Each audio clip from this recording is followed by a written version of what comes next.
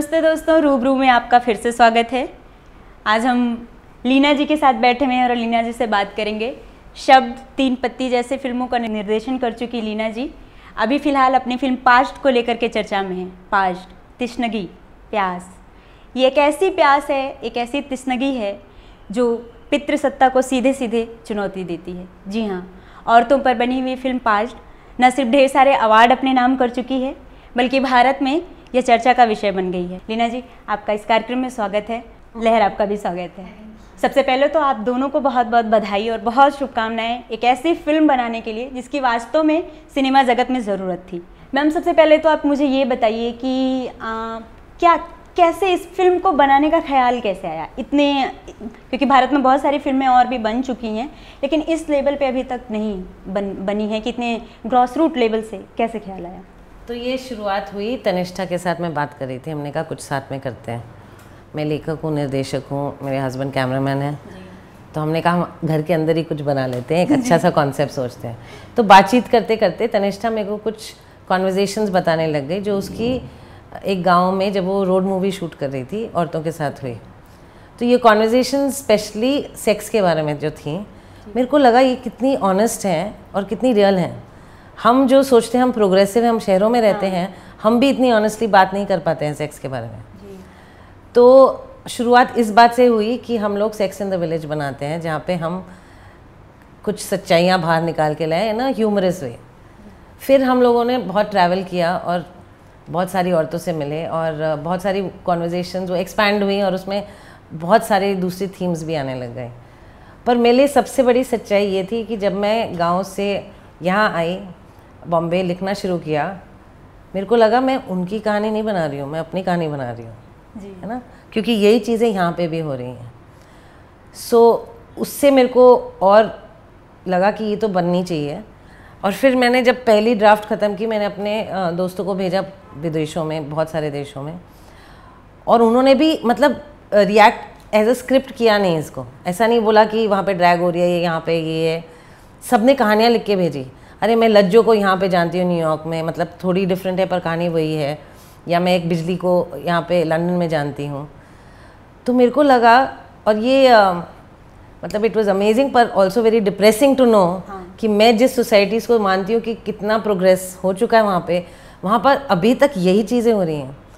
तो मेरे को फिर और ये लगा कि अच्छा ये गाँव में हम सेट करें क्योंकि इसकी जो आयरनी है कि एक ऐसा गाँव जहाँ एजुकेशन नहीं है इन्फॉर्मेशन नहीं है वही कहानियाँ सबसे प्रोग्रेसिव सोसाइटीज़ में भी हो रही हैं। जी।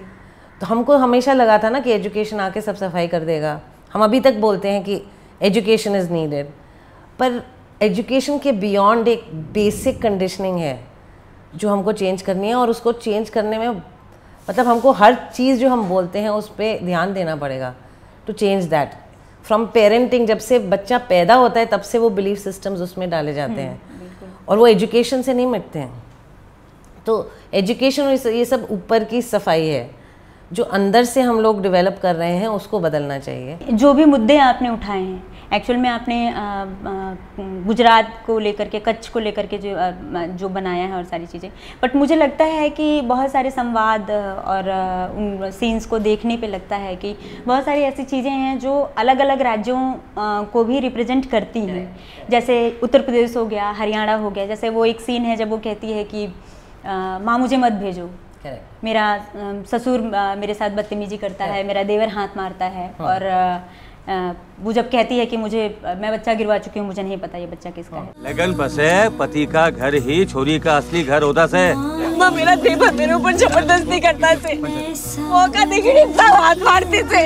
अब धाम का मान रखी ले और वापस चली जा। एज ए फीमेल एक्टिविस्ट जब मैं हरियाणा में काम कर रही थी तो मुझे ऐसी बहुत सारी स्टोरियाँ देखने को मिली थी। तो क्या ये स्टोरी पूरे देश में हो रही हैं। पूरे देश में हो रही हैं। और क्या है इसलिए क्योंकि मेरे को वो बैरन लैंड चाहिए था इसलिए कच्छ और राजस्थानी दो मेरे पास ऑप्शन थे। और मैं चाहती थी कि लैंग्वेज में हिंदी ना रख के कुछ में उसमें फ्लेवर दो तो हमने उसमें कच्ची मिला के एक नई लैंग्वेज क्रिएट की। फिर मैंने कहा एक जो बिजली का कैरेक्टर है उसको एक पंजाबी एक्सेंट दिया क्योंकि वो कहीं पंजाब से आती है शायद। हम्म। क्योंकि ज़्यादातर ये डांस कंपनियाँ नॉर्थ में होती हैं। हाँ, वो एक्चुअली होती भी नहीं है कच्छ और राजस्थान में। और फिर राजेश जो है उसको एक हरियाणवी एक्सेंट दे दिया। क्योंकि हम सब जिप्सीज ही हैं ना। हम बस के ऐसे हमको लगने लगे कि हमारी जाति है हम ह्यूमन बींग्स हैं फ़र्स्ट इन तो इसलिए मैंने कोशिश की कि इस फ़िल्म में मैं किसी जाति का नाम ना लूँ कपड़े भी मिक्स करके कुछ राजस्थानी कुछ गुजराती कुछ कच्ची यूज़ किए हैं कुछ सब चीज़ें मिक्स की हैं क्योंकि मेरे को नहीं मैं नहीं चाहती थी कि फ़िल्म बनने के बाद एक जाति बोलेगी अरे हमारे यहाँ ऐसा नहीं होता है। मैंने कस्टम्स भी मिक्स किए हैं का, काफ़ी जातियों के। हम्म, जैसे जो डाउरी का है जो पूरे इंडिया में वो हमने उल्टाया है फ़िल्म में हाँ, तो इसीलिए हम कभी ये नहीं चाहते थे पर फिर भी देखो हमारा देश ऐसा है कि उस बात पे आके बात अटक गई है कि अरे ये हमारी हमारे आपने हमारे समाज को बुरी तरह दिखाया क्योंकि आपने हमारा कॉस्ट्यूम पहन लिया है। तो आ, अभी हाल ही में ये खबरें प्रकाशित हुई थी और काफ़ी लोग इस बात की चर्चा भी कर रहे थे कि आपको जान से मारने की धमकी दी जा रही है। तो ऐसी धमकियों से कितना डर लगता है? मेरे को लगता है ये भी वही पंचायत है जो पिक्चर में दिखाई गई है ना कि आपकी हिम्मत कैसे हुई? बंद करो इसको। तो ये लोग जो फ़ोन भी कर रहे हैं और चिल्ला रहे हैं और बंद करने की कोशिश कर रहे हैं। देखते हैं क्या होता है। अभी के, आ, केस आ, आ, क्या कहते हैं गुजरात कोर्ट में है। तो देखते हैं क्या होता है क्योंकि मैंने मैं जानती हूँ सच्चाई कि मैंने एक जाति पे बनाई ही नहीं। और अगर बनाई होती मैं क्यों ना बोलती कि ये इस जाति की कहानी है। लहर आपसे एक सवाल। जो आपका पति बना है, वो अपनी माँ के पैसे चुराता है और आपके साथ समझती है, रानी का जो कैरेक्टर वो समझती है कि पैसे आपने चुराए हैं। तो वो एक इनोसेंस सा सवाल आप उससे पूछते हैं कि, जानकी पूछती है कि पैसे तुमने चुराए ना? तो वो जो सीन है, उसमें जो मारपीट और सारी चीज़ों का सीन है, वो कैसा एक्सपीरियंस था? क्या कभी आपको इस तरह का माहौल कभी आपने देखा, कभी आपने ऐसा फील किया? और उस सीन को करने के बाद एक्चुअल में आपको कैसा फील हुआ? बहुत अच्छा फील हुआ बहुत डिफरेंट था वो सीन और ऑब्वियसली रियल लाइफ में कभी ऐसा कुछ एक्सपीरियंस नहीं करा. लेकिन वो सीन फ़र्स्ट ऑफ़ ऑल तो वहाँ पे लाइक रिद्धि ने बहुत लाइक बहुत अच्छे से उसने पूरा ध्यान रखा कि मुझे ना लगे गेम की तरह करेंगे। हाँ तो वो हाँ बिल्कुल मतलब ऐसे ये दो बच्चे थे जो जिनको लगा कि हम स्टंट्स कर रहे हैं। तो रिद्धि ने कहा मैं तेरे को इधर पटकूँगा तो इधर ऐसे कर लेना फिर ऐसे उठ जाना और ऐसे यू you नो know, तो हमने गेम गेम की हाँ, तो वही। तो एक बार उसकी हम लोग जब प्रैक्टिस कर रहे थे तो क्योंकि एक्सप्रेशन प्रॉपरली नहीं आ रहा था तो आई टोल्ड हिम कि तू मार दे मुझे एक मार ही दे हो जाएगा। सो so, प्रैक्टिस के टाइम पे एक बार लग गया। तो मैंने कहा ऐसे रियल में बट रियल में वो इतनी बार प्रैक्टिस हो गया था कि वो बिना उसके करे हो गया था। और काफ़ी इतना ज़्यादा हुआ कि अब मूवी देखने के बाद मेरे फ्रेंड मुझे कहते हैं कि रिद्धि से मत मिल पाइयो हम मार देंगे उसे उसने एंड में। तो आई टेल देम कि नहीं ऐसा कुछ नहीं है वहाँ पे। तो बहुत अच्छा एक्सपीरियंस था और ऐसे रियल में तो नहीं करा एक्सपीरियंस दोनों बहुत बहुत अच्छे दोस्त थे दोनों बहुत अच्छे गाना गाना गाना गाते थे। क्योंकि जब मैं भी शूट करने से पहले मेरे को भी ये एक डाउट था कि जिन लोगों ने ये सर्कमस्टांसिस देखे नहीं हैं आई डोंट वांट कभी कभी एक फ़िल्म शूट इतना रियल हो जाता है आपके लिए कि you carry it as an experience तो मैं नहीं चाहती थी और आ, उसी दौरान जब मैं लहर जब मैं जानकी की कास्टिंग कर रही थी मैं एक ऐसी लड़की से मिली जिस पे इतना बुरा असर पड़ा है एक ऐसा रोल करके कि उसकी स्पीच में स्टैमर आ गया है। तो उसके बाद तो मेरे को और डर लग गया था। बट लकीली क्या हुआ? मेरे को दो बहुत एक्सट्रीम लोग मिले। लहर जो बहुत ही इनोसेंट है हाँ. बहुत ही जॉयफुल है। और रिद्धि जो इतना पढ़ चुका है शायद वो शायद तीस साल के लोग भी नहीं पढ़े होंगे। ठीक है? उसके फ़र्स्ट कॉन्वर्जेसन जो मैंने रिद्धि के साथ किया स्काइप पे मेरे को याद है मैंने हेडफोन्स पहने हुए थे मेरे पीछे असिस्टेंट्स बैठे हुए थे मेरे सारे। तो धीरे धीरे फ्रॉइड वर्ड सेक्सुअलिटी के बारे में मतलब सब बातें हो गई। मैंने फ़ोन रखा और सारे असिस्टेंट मेरे को देख रहे हैं मैम आपने ये बात एक पंद्रह साल के बच्चे के साथ की तो रिद्धि वहाँ है ठीक है? तो मैंने रिद्धि को एक टूल बना के I use them both like in a way that कि इनको लगे कि गेम चल रहा है। एंड आई थिंक लहर ने जब फ़िल्म दो साल बाद देखी लंदन में फाइनली इज़ वेन उसको real you should talk about that या एक्चुअली uh, जब वो देखी थी तो इट वॉज़ कम्प्लीटली डिफरेंट क्योंकि जब करी थी तब मुझे पूरा पता भी नहीं था कि मूवी एग्जैक्टली पूरी है क्या. लिविंग जानकी एंड थोड़ा बहुत अबाउट रानी एंड गुलाब तो uh, जब देखी तो it was totally something else only and तो बट आई थिंक उस टाइम पे या इतना था कि आई कुड अंडरस्टैंड मतलब उस टाइम पे जब फोर्टीन में जब मैंने करा था that time I pretty sure नहीं समझ में आया. लेकिन हाँ when I watch the movie तो या आ, आपकी इससे पहले जो फ़िल्में आ चुकी हैं शब्द तीन पत्ती और अपाश हाँ। ये तीनों बिल्कुल अलग अलग बेस्ड मूवी हैं और अगर तीनों को ही देखा जाए तो वो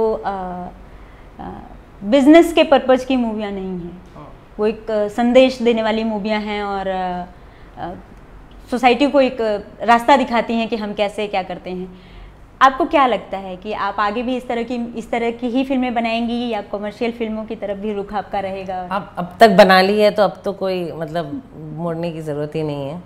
क्योंकि मैं मैं जिस तरह का मेरा दिमाग है, मैं वही कर सकती हूँ। तो शब्द और तीन पत्ती के साथ भी जब मैं पहली बार शब्द के साथ प्रोड्यूसर के पास गई, मेरे को, मैं, मेरे को ये नहीं पता था कि ये मैं बड़े स्टार्स के साथ बनाऊँगी। मेरे को लगा था ये इंडिपेंडेंट पिक्चर ही है, क्योंकि बहुत ही अलग कहानी थी। पर अच्छी बात या बुरी बात मानो कि ऐसे लोग उससे जुड़ गए। उनको भी बहुत अलग लगी ये कहानी। तो फिर तीन पत्ती के साथ भी मैंने वही किया। जब तक तो जब शब्द आई तो सबने उसको मार पीट के एकदम साइड कर दिया। जब तक तीन पत्ती आ रही थी तो जितने जर्नलिस्ट आ रहे थे मेरे को इंटरव्यू करने के लिए वो बोल रहे थे, यार, शब्द हमारी फेवरेट फ़िल्म है। मैंने कहा अच्छा अभी कैसे हो गई इतने साल बाद? तो सिमिलरली तीन पत्ती के साथ भी वही हुआ। अब मेरे को बोला जाता है कि I made critically acclaim film but किसी क्रिटिक ने उसको अक्लेम तो नहीं किया था उस टाइम पे। बिल्कुल। पर एनी uh, anyway, उनको लगता है कि क्रिटिकली अक्लेम्ड है तो बहुत बढ़िया। तो जैसा जैसा मैं जानती हूँ मैं वैसा ही कर सकती हूँ। और पास्ट भी uh, मैं अपनी एक ऑडियंस ढूंढना चाहती थी। वहाँ उस उस नीड से पास्ट आई। क्योंकि ऑब्वियसली मैं जो अलग कहानियाँ कहना चाह रही थी और उसको एक बहुत ही कमर्शियल उसमें कहना चाह रही थी कहीं ना कहीं उसमें शायद मिसमैच था। हर चीज़ की अपनी जगह होती है। और इंडिया में एक प्रॉब्लम क्या है हम हमारे जो एक्टर्स हैं उनकी जो पर्सनल इमेजेस हैं वो उनके कैरेक्टर से कहीं ज़्यादा है। तो अगर वो कुछ एक गड़बड़ कैरेक्टर प्ले कर जाए तो मतलब ऑडियंस एक्चुअली गुस्सा हो जाती है कि अरे आप ऐसा कैसे कर सकते हैं? ये भूल जाते हैं कि वो कैरेक्टर प्ले कर रहे हैं। तो अगर पूरा सिस्टम ऐसा है तो उसमें आप टांग अड़ाओ तो इससे अच्छा आप अपनी एक आवाज़ ढूंढो। तो पास्ट इस नीड से भी आई कि दुनिया में अभी बॉर्डर्स हैं कहाँ? यू नो इंटरनेट में घुस के मैं जाके एक्चुअली गूगल मैप से एक पूरी स्ट्रीट देख सकती हूँ।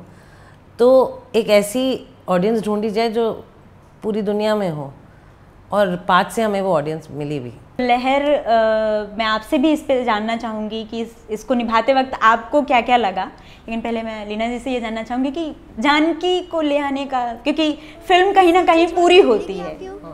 ये चार औरतें जो ज़िंदगी बुनती हैं, वो परत दर परत औरतों की ज़िंदगी को खोलती भी है, संभालती भी है और एक फैला भी देती है। तो वो कैसे सूझा आपको? जानकी का कैरेक्टर आया क्योंकि एक्चुअली जो कैरेक्टर तनिष्ठा जिस पे मतलब जहाँ से बॉर्न हुई थी रानी का कैरेक्टर वो एक्चुअली एक विडो थी जो तो हमने जब उनसे बात की वो पैंतीस साल की होंगी और वो ऐसे बात करी थी जैसे वो बुढ़ापा आ गया है। उनके बेटों की शादी हो गई है। और उनका जो मेडल है जिस पे वो ज़िंदगी जी रही है कि यही है कि समाज बोलता है, वाह रानी बहन, आपने क्या सेक्रीफाइस करके वो एग्ज़ाम्पल बन चुकी है बाकी गाँव के लिए। बाकी अपने बेटियों को बोलते देखो रानी बहन ने कितना सेक्रीफाइस किया है। तो क्या है, कहीं ना कहीं आप बिलीव करने लगते तो रानी वो बन गई है मॉडल फॉर द परफेक्ट कि ऐसी औरत को होना चाहिए। अपने बारे में मत सोचो, पहले पति के बारे में, फिर बेटे के बारे में, और फिर दैट इज़ योर लाइफ तो उसके थ्रू ऑल्सो मैं अगेन बचपन से देखती आ रही हूँ कि औरतें औरतों को ऐसे क्यों ट्रीट करती हैं? बिल्कुल। जो as a daughter in law suffer कर चुकी वो मदर इन लॉ बन के वही औरत क्यों बन जाती है? बिल्कुल। और सिर्फ़ mother in law daughter in law में नहीं। अपने कन्वर्सेशन में अपनी सास से कहती भी तो है। हाँ, हाँ, कहती है। आप हाँ, कह, आपने कहलवाया है हाँ, उस चीज़ को। तो क्या है कि not only mother in law daughter in law I think somewhere women punish other women for the life that they had तो कहीं ना कहीं हम भी उसको प्रोपोगेट करते हैं और उसको किसी अलग अलग तरीक़ों से। मैंने बहुत बहुत सुना है कभी कभी औरतों को बोलते हुए कि यार मर्द बॉस बुरा हो तो ठीक है पर औरत बॉस अगर बुरी हो तो वो मतलब मर्द से भी भयानक है। तो शायद ये इसलिए क्योंकि हम एक दूसरे की साइकी को समझ सकते हैं ना। हाँ, तो हम जहाँ चोट पहुँचा सकते हैं वहाँ पे शायद एक मर्द ना समझ पाए। पर ये क्यों होता है? एंड ये अगेन हम कंडीशनिंग फैला दी गई है कि औरत औरत की दोस्त नहीं बन सकती। So I wanted to challenge all those things because I think मेरी लाइफ की सबसे बड़ी स्ट्रेंथ यही रही है कि मेरे मेरे सबसे आई थिंक स्ट्रेंथ औरतें ही रही हैं मेरी लाइफ में। चाहे वो मेरी माँ हो या मेरे दोस्त हों और मेरे बहुत बहुत बढ़िया दोस्त हैं। So and I have never felt negatively towards them तो मेरे को ये समझ में नहीं आती ये बात कि अरे औरतों को मत ट्रस्ट करना। मेरे को ही बोला जाता है। ऐसा क्यों है? तो वो भी एक बहुत डीप रूटेड कंडीशनिंग है और uh, तो for that cycle I brought in Janaki और जानकी के थ्रू बहुत सारी चीज़ें क्वेश्चन करनी थी. फर्स्टली अगेन एजुकेशन कि आपका डिसीज़न ले लिया जाता है एट अ एज वेयर आप लायक ही नहीं है डिसीज़न लेने की. Uh, छोटे बाल which is symbolic of lot of things you know how are you judged on the exterior of so many things और बाल में क्या वैल्यू है? वो बढ़ जाते हैं। पूरा बायोडेटा है कि ऐसा हाँ। ऐसा ऐसा ऐसा होना चाहिए। पर वो सिमिलर बायोडेटा मर्दों का नहीं है मर्दों का क्या बायोडेटा है कि वो कहाँ काम करता है कितने पैसे कमाता है?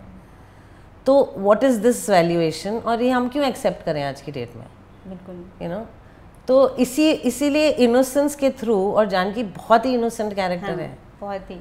तो एट दैट एज इमेजिन कि वो सोचते मैं बाल काट लूँगी तो शादी रुक जाएगी। It's such a beautiful innocent and very very hurtful thing actually तो मैंने इसको कास्ट करने से पहले भी मैंने यही चैलेंज रखी थी। मैंने कहा जो लड़की अपने बाल काट पाएगी जिसमें हिम्मत है कि अपने बाल काट लेगी मैं उसको कास्ट करूँगी. पार्श बनाने के लिए आपको बधाई। पार्श हमें दिखाने के लिए आपका आभार। मैं चाहूँगी कि जितने भी लोग हैं जो सच में सिनेमा को समझना चाहते हैं, औरतों की स्थिति को समझना चाहते हैं और ये देखना चाहते हैं कि हमारे देश में पेट्रियाट की कैसे काम करती है और उसे ख़त्म करने की कितनी ज़रूरत है। तो एक बार सिनेमा घरों तक जाएँ और पार्ट ज़रूर देखें। कैसी तिस्नगी, कैसी प्यास है, ये आपको फ़िल्म देखने के बाद समझ आ जाएगी।